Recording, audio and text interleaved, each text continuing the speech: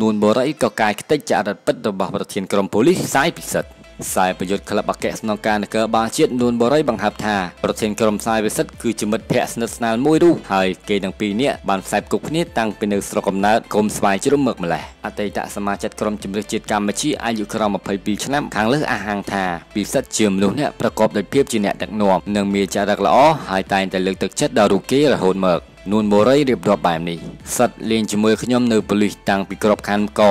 តែជាមិត្តភ័ក្តិគ្នាយូរហើយនៅភូមិជាមួយគ្នា